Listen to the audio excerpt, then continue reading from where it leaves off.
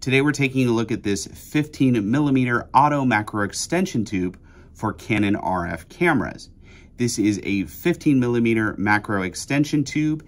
It goes between a Canon RF camera and Canon RF lens, and it increases the magnification of your Canon RF lens, turning any Canon RF lens into a macro focus lens. As you can see here, it's got a nice metal construction to it, very durable, all metal, beautiful finish, so it fits right in with your Canon RF professional gear. And this is an auto macro extension tube, which means it has electronic communication pins built into it. So it electronically communicates between the Canon RF lens and Canon RF camera, so you can still control the aperture and autofocus of your lens, which is great because you know a lot of macro extension tubes do not have electronic communication pins, which means you lose electronic communication when you adapt your lens and you can no longer autofocus or adjust aperture. This adapter allows you to do both, adjust your aperture, adjust your autofocus, which is really nice if you're shooting macro photography and you don't want to have to do the fine tuning of the focus. This adapter will allow you to keep using the autofocus features of your lens so you can autofocus when you're shooting macro. Let's take a look at how to use this macro tube with a Canon EOS R camera.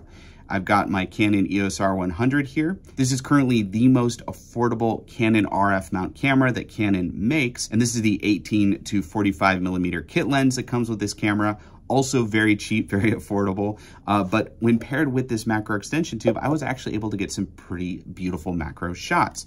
So to use this macro extension tube, we're first gonna have to remove the lens from our EOS R100 camera and then we're going to mount the macro tube between the lens and camera.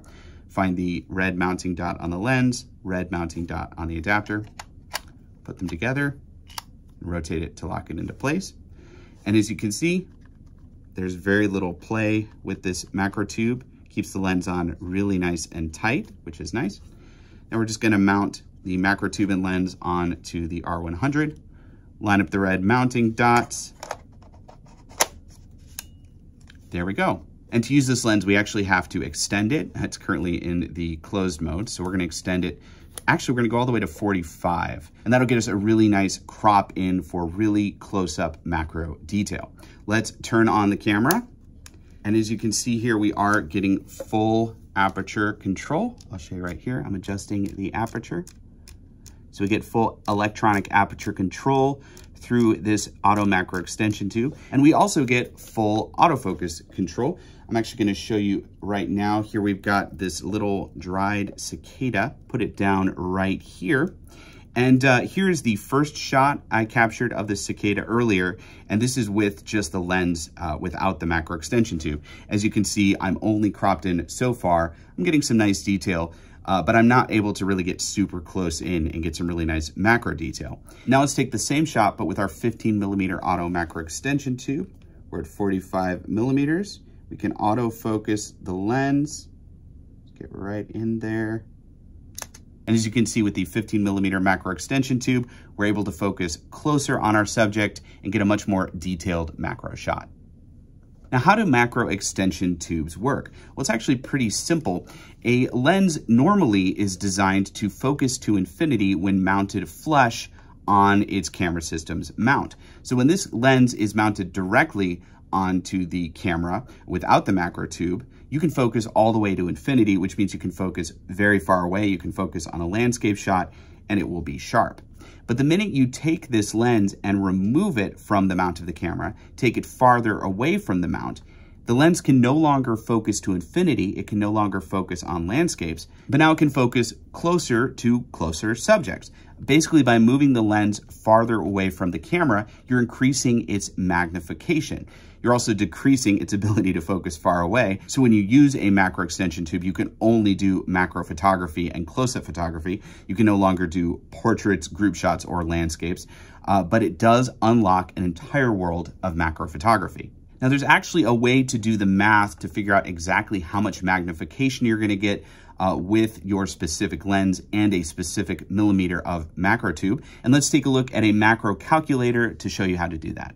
Okay, so I looked it up and this lens that we're using has a maximum magnification of 0.16. So let's go to our calculator. So we're going to type in 0.16. Focal length is 45 and our macro extension tube is 15 millimeters. Let's calculate that. So our new magnification is 0.49x and the newest closest focusing distance is 203.4 millimeters. So if you want to use this macro extension tube calculator for yourself, I will link it in the description below. Now we don't just sell a 15 millimeter auto macro tube for Canon R cameras. We also offer a longer 35 millimeter macro tube. And you can also stack multiple macro tubes together to increase your magnification even more. So let's actually take two 15 millimeter macro extension tubes and you mount them just like you would mount a lens to a camera, line up the red mounting dots, twist it to attach it.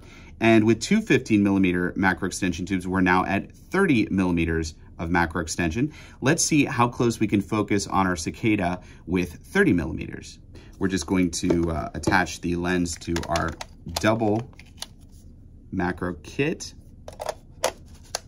And because both of these auto macro tubes have electronic communication, you can actually send a signal between the lens and the two tubes to the camera. So you still have electronic control, even though you're doubling up the tubes. Okay, we've got our same subject again, but now we're at 30 millimeters of macro extension. So let's see how close we can get up on the subject now. And as you can see with the 30 millimeters of macro extension, we're increasing the magnification of the 45 millimeter zoom lens, and we're getting closer up on our macro subject for a more cropped in detailed shot. Let's actually do the math on the macro calculator for 30 millimeters and see what kind of magnification we're getting for that. Okay, we're back in our macro extension tube calculator. We've got the native magnification 0.16x for the lens. The millimeter is 45, but now we're changing the 15 to 30 because we're doubling up two 15 millimeter macro extension tubes. So our new magnification is 0.83x, and our new closest focusing distance is 181.6 millimeters. So that definitely increases our magnification and allows us to focus even closer uh, with a lot more magnification. And here are some of the macro photos I've captured with this 15 millimeter auto macro extension tube. As you can see, even with this cheap camera and cheap kit lens, you can get some pretty beautiful results. I love photographing insects and I had a blast going out in nature with this macro tube and little camera and capturing some beautiful macro insect photography. You can also use fully manual lenses with this adapter. You don't need electronic lenses.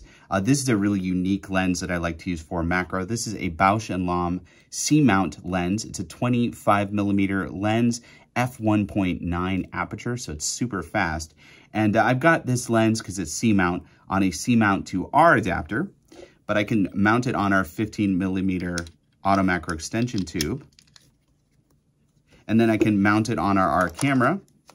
So now I'm adding 15 millimeters of macro extension to this vintage C-mount lens, and I'm able to shoot macro photos with it. So this just goes to show you don't just have to use modern R lenses for macro photography. You can double adapt vintage lenses to these macro extension tubes and get beautiful results. Okay, that was a quick look at our auto macro extension tubes for Canon R cameras. Remember, you can use them individually or you can double them up for even more magnification. And if you'd like to get one of these adapters for yourself today, click the link in the description. It'll take you to our website where you can purchase one of these for yourself. And if you're interested in macro extension tubes, but you don't have a Canon R camera, we carry auto and manual macro extension tubes for all sorts of different camera mounts and lenses. And if you want to learn more about all the macro extension tubes we have to offer, click the link in the description. If you have any questions or comments about anything in today's video, comment below. I'd love to engage with you. And also click right here to subscribe to our YouTube channel to get more videos just like this one. I'm Sean with Fotodiox.com and happy macro photography.